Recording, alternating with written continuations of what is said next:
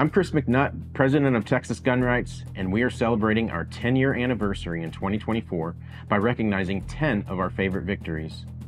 In 2023, we established the Texas Gun Rights Foundation, which focuses on bringing our no compromise tactics to the courtroom.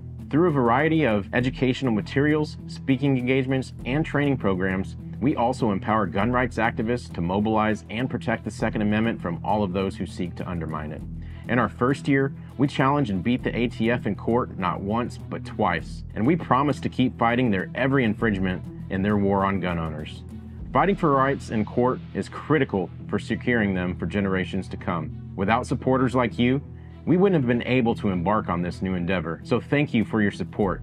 And if you haven't yet joined our grassroots army, you can sign up today at texasgunrights.org.